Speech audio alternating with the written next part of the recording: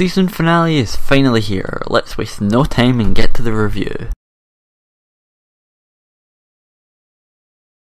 So, as a season finale, this episode wraps up all of the plot points that have been introduced this season, such as the season long arc of the box, the Pony of Shadows, and all the other great things. So let's dive straight in. The episode begins with Twilight arriving in the Crystal Empire on some royal business, and by business I mean smiling and waving.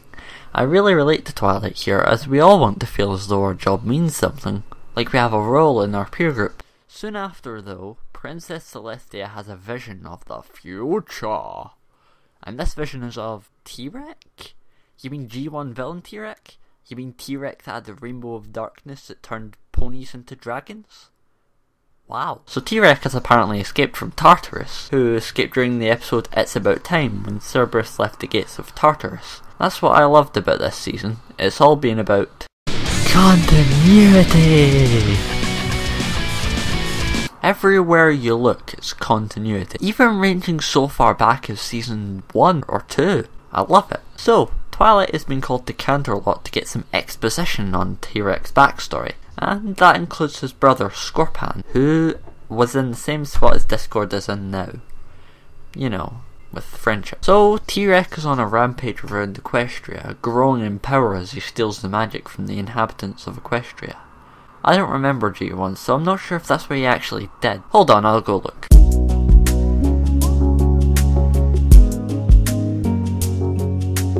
Hmm.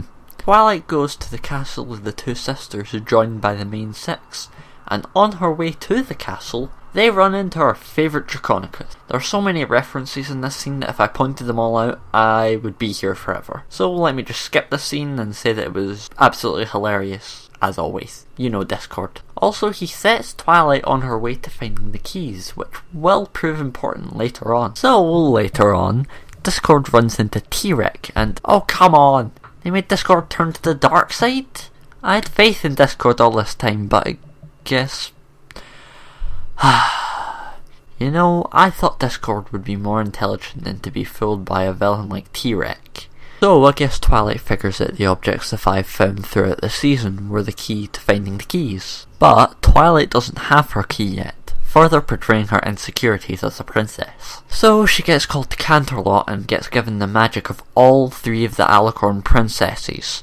Twilight, enter God mode.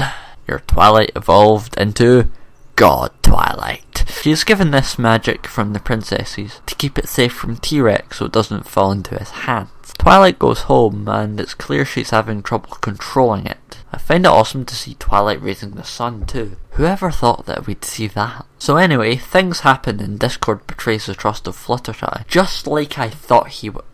Wait, I knew Tirek would do this, so that means Discord isn't evil after all. Yay! Then there's an epic fight between Twilight and Tirek, during which he blows up the library, causing Twilight to go rage laser mode which is fucking awesome to be quite honest. Then Twilight has to make a tough decision. She has to choose between giving up the magic given to her by the princesses in exchange for her friends, causing Twilight to get the rainbow connection. She accepts giving Tirek the magic, causing Tirek to get even bigger than he was before. Hope seems completely lost until Discord gives Twilight the triangle amulet, which was given to him by Tirek earlier in the episode.